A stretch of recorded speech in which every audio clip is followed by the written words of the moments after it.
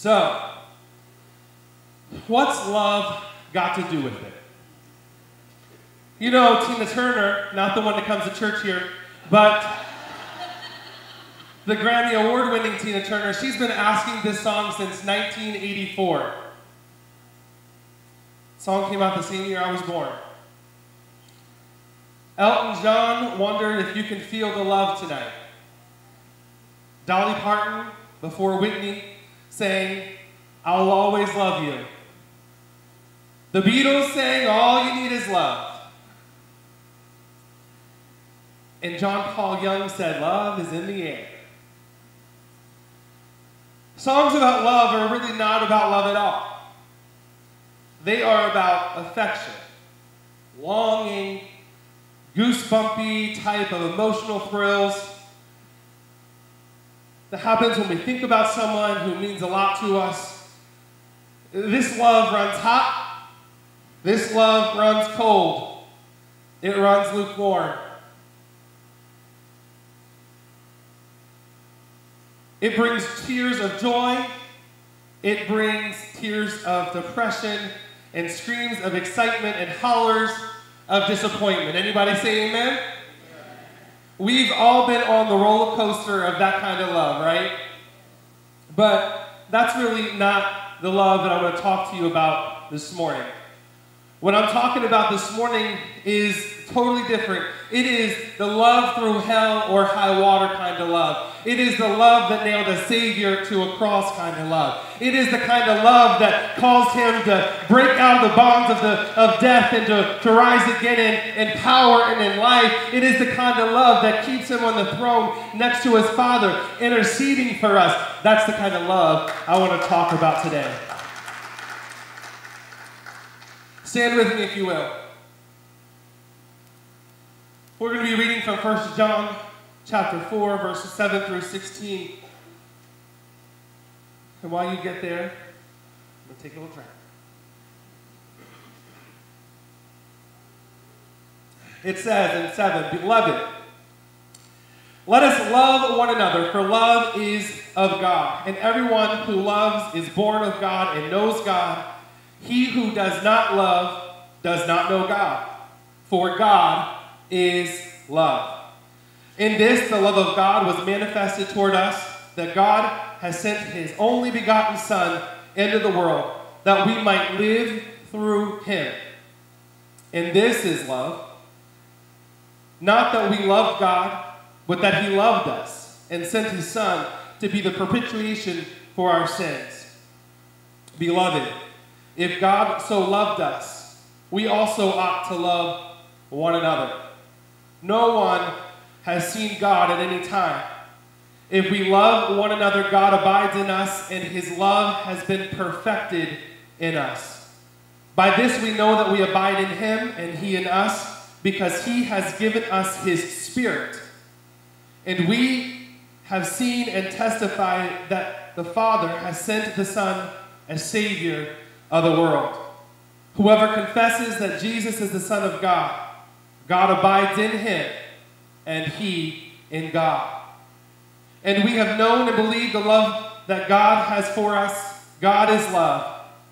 And he who abides in love abides in God, and God in him. Amen. Let's pray together. Lord, we thank you for the service today. We thank you for the people who fill this room. We thank you, Lord, for your spirit that has come and dwells in this place. Lord, we ask you as a minister today that you would open ears and open hearts. That distractions, Father God, would fall to the wayside and that we would put um, our attention solely on you today. And Lord, that you would move in this place, up and down each aisle and in each row, Father God, that we would hear from you this morning and we would have a better understanding of love. The kind of love, Father God, that, that moved you uh, to to sacrifice your son and for Jesus to give up the wealth of heaven, to come and to live on earth and to, to be led to the cross. Lord, we all love things, in quotes, but Lord, we want to move beyond that kind of love that these songs that I spoke about this morning talk about. We want to move into the kind of sacrificial love that you had for us and still do. Move again in this place today. Allow us to see your glory reign as we give this whole service over to you. We pray and we give thanks in that matchless, mighty name of Jesus. And God's people say, Amen. You may be seated. So I talked a little bit about these songs, and I talked a little bit about the artist who sang them. I guess I didn't talk about them, I told you who sang them. And then we read this scripture and we begin to understand what love is and what love really should be. You know, when you're a teenager and you fall in love, you get these goosebumps and you can't stand to be separated from the person. And then, like the very next hour, you hate the person. You can't stand the sight of them. And sometimes it's like that as we get older and even in marriage from one hour to the next. But that's not what love is. And sometimes we need God to help remind us and to help us in our, our natural minds to understand the kind of love that drove him to the cross, the kind of love that motivated him to give up all of glory and to come and to dwell here on earth. And so hopefully we can have a better understanding of that this morning. But what does human love look like? Human love is conditional. We love people oftentimes because of their performance, because of their knowledge, because of their beauty. Think about those three things their performance, their knowledge, and their beauty. Sometimes we love people as long as they can do something for us and we get benefit out of the relationship. Sometimes I love you because I get something out of you. And the moment you stop giving me what I wanted, I, am done with you. I don't have any more time for you. I don't have anything else I can give you. I'm finished. It's conditional. People will love until they've gotten everything that they can get out of the person. And then they're finished. But the Bible tells us in 1 Corinthians chapter 13 and verse 7 that love bears all things. It says in that scripture, love bears all things, regardless of what comes. It believes all things, looking for the best in each one. It hopes all things, remaining steadfast during difficult times. It endures all things without weakening. And think about the way we love people. Is this how we love people? Isn't how we love the drunk on the street? Is this how we love people who don't live the lifestyle that is um, appropriate according to our own convictions? Is this how we love people who don't look like us and who don't act like us? Is this how we love people? Are we bearing, are we putting up, are we able to, to, to even stand to be in a room with people whose life doesn't align with the Bible? Jesus hung out with these people. Jesus loved these people. Jesus went to the cross for these people. He didn't just go to the cross for New Life Christian Ministries or for the Protestant church. He didn't just go for the church of God. He didn't just go for those who wear white robes or who sing in the choir or stand behind the pulpit. Jesus loved people. It drove him all the way to the cross. It caused the crown of thorns to be placed on his head, the whips on, um, on his back, the blood to be shed from his side. It caused him to lay down his entire life. So, does love bear all things? Does love endure all things? Or have we changed love to meet our needs right now? When things are good, I love you. When you're doing what I want you to do, I love you. When my bills are paid, I love you. As long as it's for me and about me, I love you. But when things become bad and the honeymoon is over, or when I stop doing with, uh, things with you and my focus, and you're replaced by something else, when I run out of money and I run out of time, and I can no longer cope with things day to day, do you still love me? Do I still love you? What happens now is that someone, oftentimes in marriages, is replaced. In friendships, we cut people off. Families fall apart. Friendships die and relationships and marriages break away. Now it's so easy. It's like getting a new outfit, out with the old, in with the new. It's like turning the page in a book. It's so easy for some reason.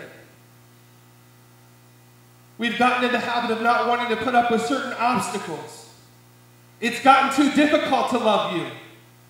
It's gotten too hard for me to put up with you.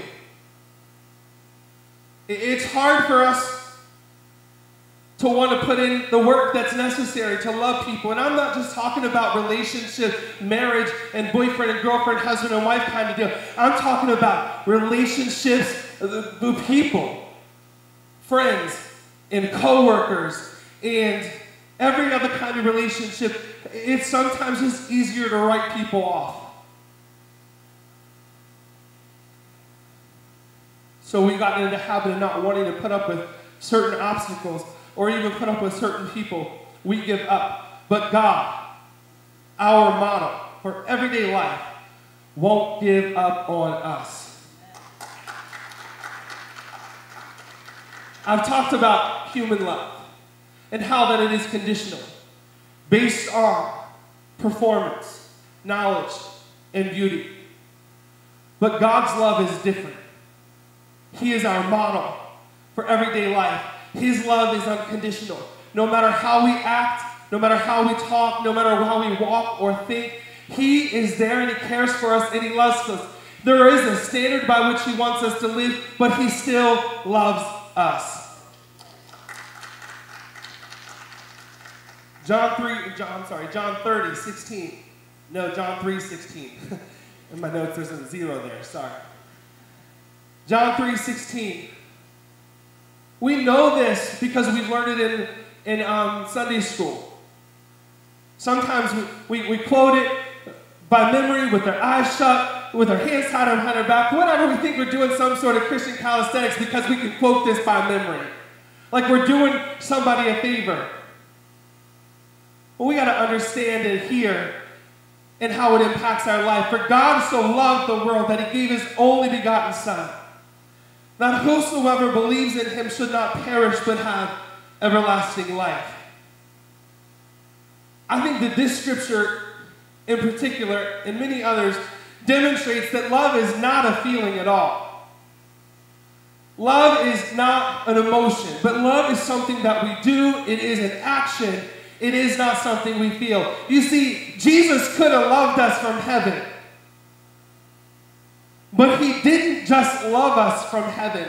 He, he was motivated by his love to give it all up and to come here and to walk a life that he felt the pain you feel. He experienced the emotions that you feel. He experienced more excruciating pain than we can even imagine. And you think there's not days in those 33 years that he didn't long for the comfort of heaven?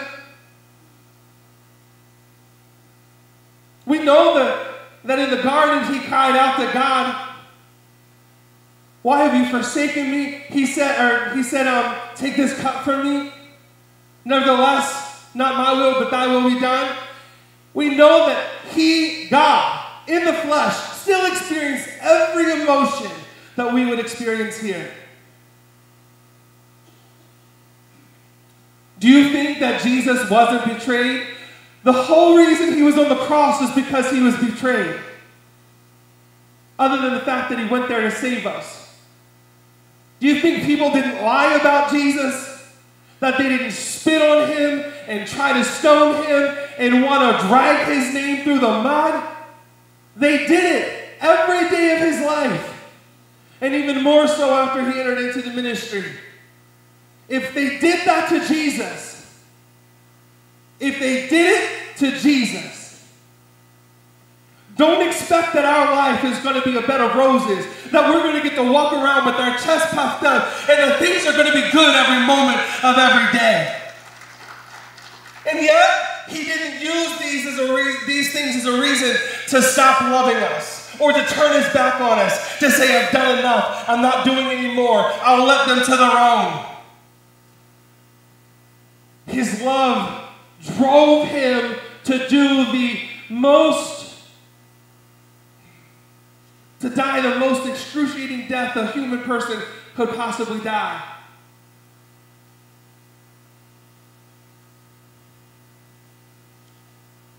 I like to read John 3:16 this way. For in this way God so loved the world. Because it changes it just a little bit for me that he just he loved us. And then he said, but it tells me that in this way he demonstrated his love. He acted on his love. You see, we say all the time we love things. We love mashed potatoes. We love classic cars and movies and music. We love the beach. We love, I'm so glad that Jesus didn't just love me in that way. Uh, he was driven to love me in a way that is so much deeper and that now my life isn't hanging the balance. My soul doesn't stand between heaven and hell. My soul can be claimed as a child of God, and I've got a hope for eternal glory to spend it with Jesus one day. In Romans 5 8, another, another scripture that tells us that but God demonstrated his own love toward us in that while we were still sinners, Christ died for us. We expect that, that uh, sometimes we think that we have to come and we have to get life right. That we have to look right, act right, that we have to act the part, that we have to know the right things and sing the right songs in order for Jesus to love us. But He loved us in spite of us. He loved us even while we were still sinners. He loved you before you were formed in your mother's womb. He loved you before you ever uttered a word. He loved you and still died for you.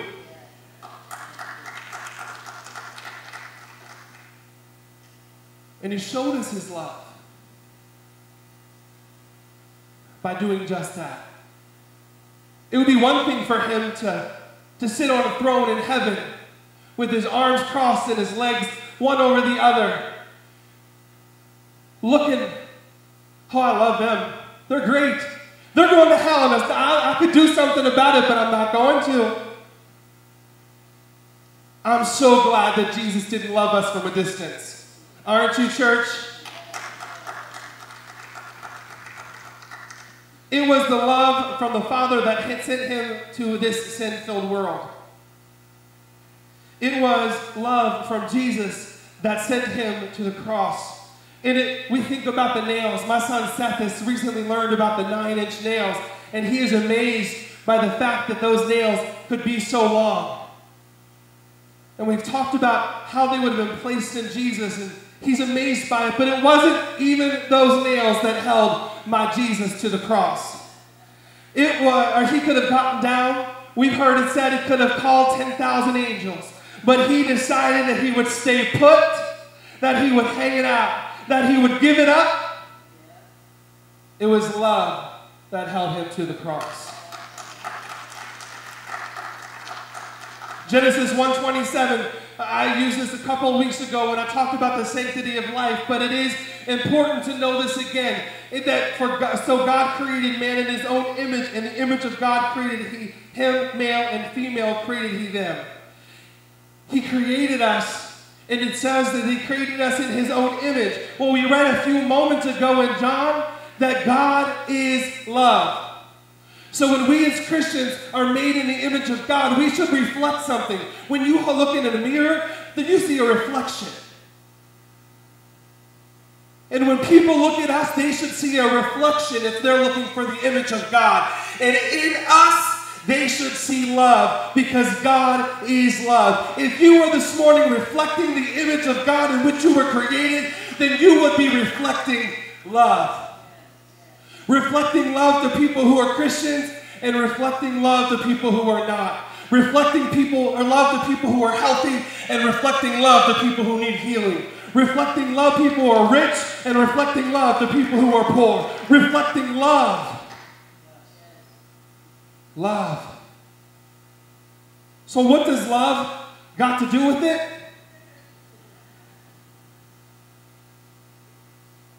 God is love. John 13, 34, and 35 says, A new commandment I give unto you, that you love one another as I have loved you, that you also love one another. By this shall all men know that you are my disciples, if you have loved one to another. Love one for another doesn't make a, doesn't change the world. Love to one another does. What's the difference, Pastor Todd? Because Jesus could have just had love for the world and not been motivated to do anything about us in our sin sick state. But he had love to the world, and that while we were yet sinners, he came and he died. And then we can have a love for this world and not even care that they're going to hell in a handbasket. But when we have love to the world, we will go out into the world and we will do our very best to make sure that we can snatch every one of them out of hell. It is not enough to say that we are loving and praying for a world that is lost. We have to show our love to this world. You know, they have to see Jesus. They have to see Jesus. And where are they going to see Jesus if they don't know where to look? Where are they going to see Jesus if they're not willing to come to church? Where are they going to see Jesus if they don't know uh, what to, how, what, and where to read in the Bible? They should see Jesus in Pastor Todd and in Pastor Ken and in Deacon Steve and in Brother Chris and in Miss Charlotte and in Brother Randy and in Colby and in everybody else across the sanctuary.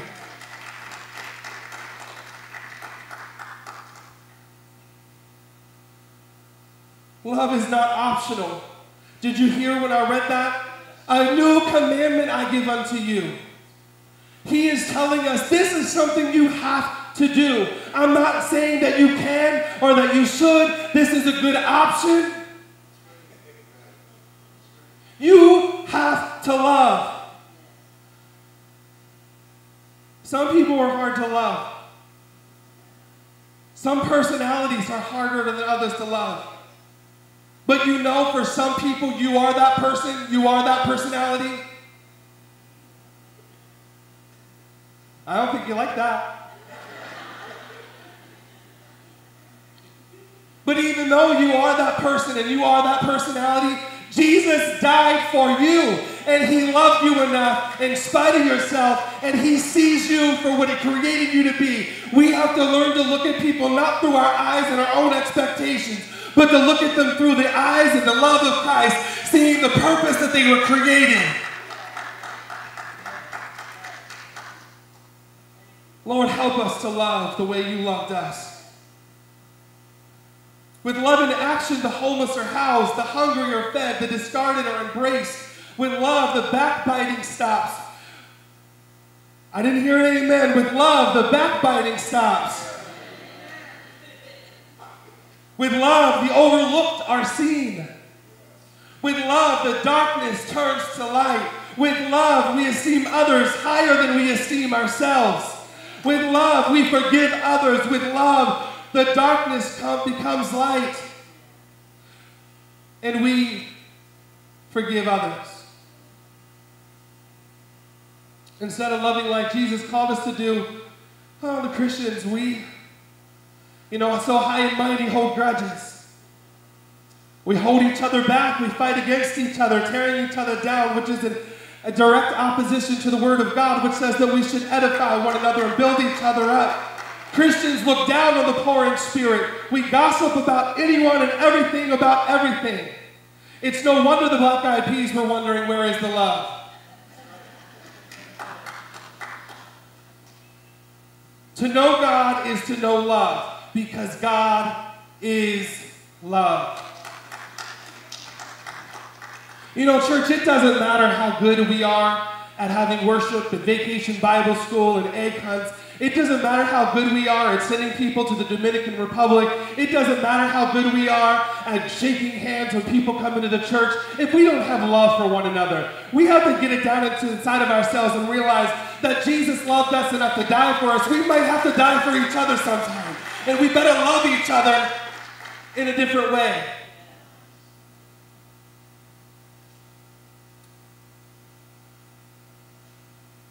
1 John 4 20 to 21. If someone says, I love God and hates his brother, he is a liar. For he who does not love his brother whom he has seen, how can he love God whom he has not? And this commandment we have from him, that he who loves God must also love his brother.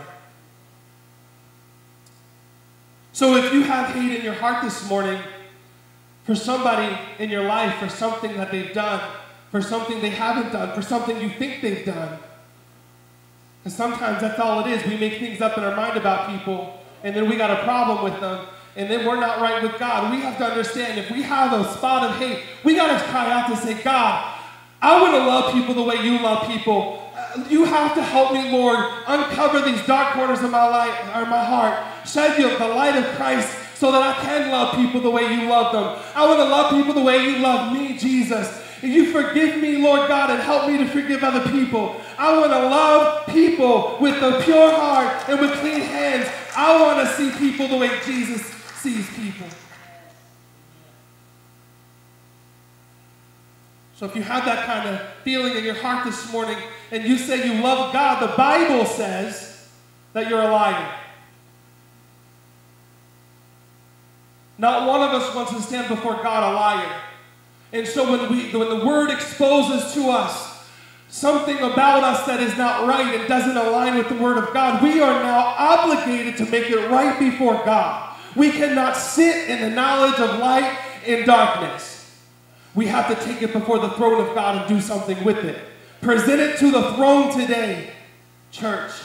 God is saying in these scriptures, how can you not love, or how can you um, not love someone that you might even be sitting beside today in church, someone that you might have rode to church with, somebody that you interact with at work. How can you love God and have a problem with those people?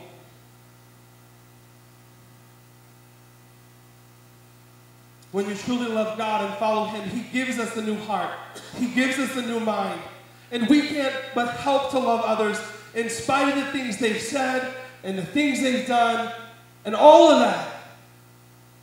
God helps us to love them in a new way. Think about this love is a language that speaks to the heart of those that it encounters. Love can be heard by a deaf man. Think about that. Love is a language that can be heard by a deaf person. Love can be seen by a blind man. And it can be felt by a man who has no feelings.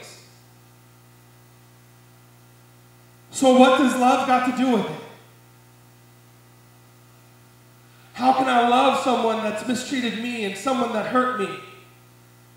That's a good question. I'm glad that you're asking me. Matthew 5 44 says, But I say unto you, love your enemies. Bless those who curse you, do good to those who hate you, and pray for those who spitefully use you and persecute you.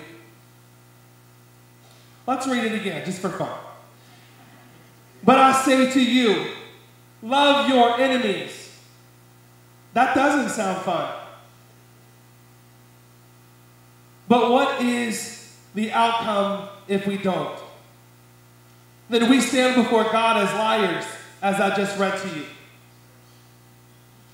Love your enemies, bless those who curse you. There are going to be people who curse you, who say bad things about you, who want to see bad come to you. But we are to bless them. Do good to those who hate you. There are going to be people who hate you. There are going to be people who hate you for the sole reason that you've named Christ as your Savior. And pray for those who spitefully use you and persecute you. We need to stop talking about people and start praying for people. Jesus prayed for his friends. Jesus prayed for his enemies. Even on the cross, his love had him pray, Father, forgive them, for they know not what they do. Father, forgive them. Here they are, they're killing him. They've done beaten him.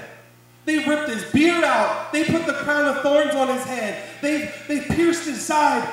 They've done the unthinkable to this man. Yet he finds it inside of himself to say, Father, forgive them. So they might have put a nasty post about you on Facebook. You can forgive them. They might have said something about you or your kids, but you can forgive them because they haven't plucked your hair out and put you on a cross. And even if they did, forgive them because God said so.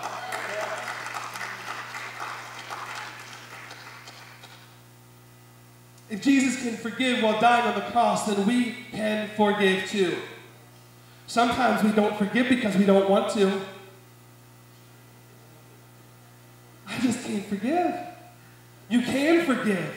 You just don't want to. It's so much it's so much more fun to sit back and have feelings towards somebody and to get other people involved in it and to talk about them and say, you know, so and so, eh, that might be fun in a moment, but in a season, another season, you will reap what you sow, and God will not be pleased by it. He wants you to love them, pray for them, and lift them up before the throne of God. I'm going to ask the worship team come. So I'm going to ask you again, what does love got to do with it? we can answer Tina Turner's question. For us, love has got everything to do with it. You see, if we would summarize the entire book of the Bible, all 66 books, it would be summarized in that word love. He loved us. Greater love in John 15, 13, greater love has no one than this, than to lay down one's life for a friend. Which takes us back to John 3, 16, because he acted on his love. He acted on his love. So let's this morning understand what the love of God really is. And let's understand that sometimes, more often than not, it's not enough to say love, but we've got to do it. We've got to be, we've got to act on it. Driven out into the world to be the laborers for this harvest that is great.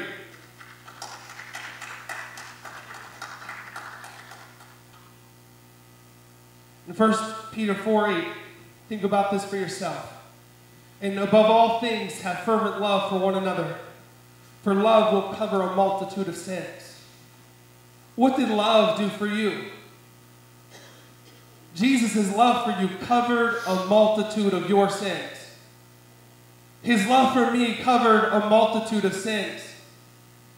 His love for our church did the same thing.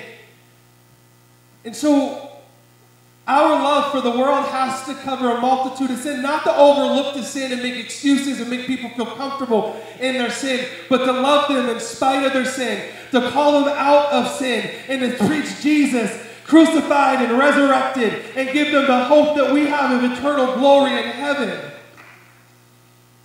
We can coddle people to hell, but we want to rock them to heaven.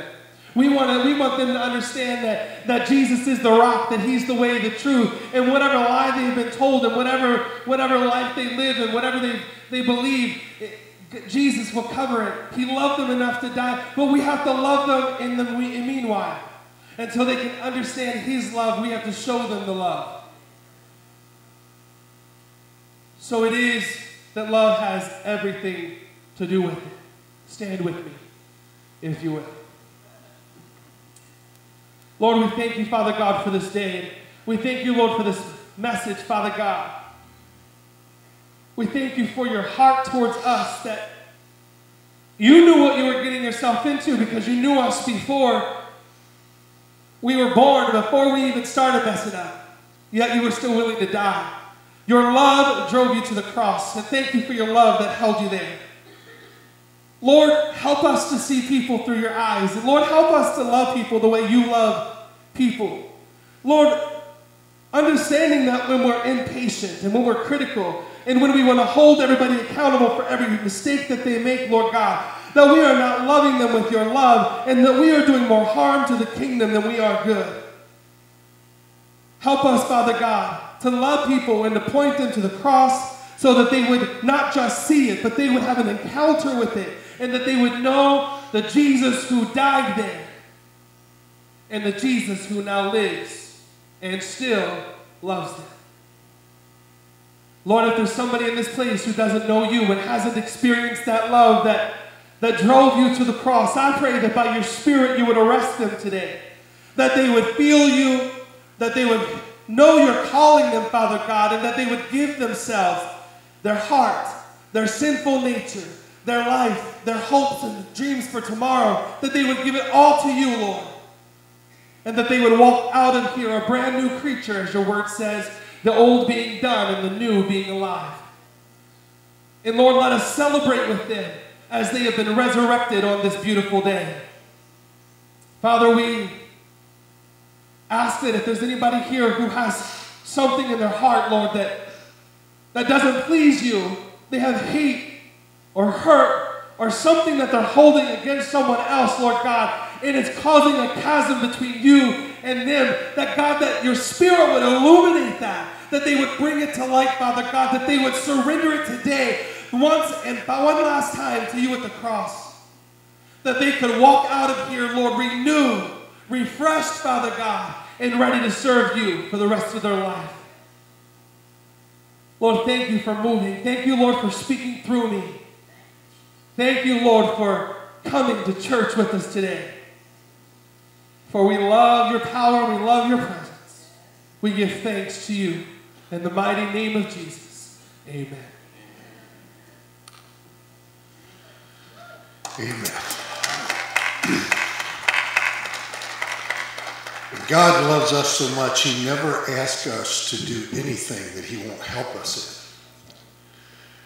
And I was thinking as Pastor Todd was preaching, there's so many times as Christians that we have opportunity. God puts us in situations to reach out and to love people that sometimes have criticized us, sometimes have treated us wrongly, sometimes we don't, you know, we don't want to take the opportunity that God gives us. But I found over and over again that when our hearts are willing, which is what love is, it's not about emotion, it's not about feeling, it's about doing the right thing no matter what. But when you do, the book of Romans says that God, through the Holy Spirit, will shed the love of the Holy Ghost through our hearts and through our lives. Jesus said, If you love me, you'll keep my commandments. And if you keep his commandments, his love, he will love a spouse through you. He will love a neighbor through you. He will love your enemies through you if you'll love him. Thank you so much for worshiping with us, and please come back next week and bring someone with you. Amen. Let's go to the Lord in prayer. Heavenly Father, we t- thank you for this time of renewing, refreshing, Father God, to sit in your presence, to sit in, just to hear your word, Father God. Thank you for the hope that was preached today.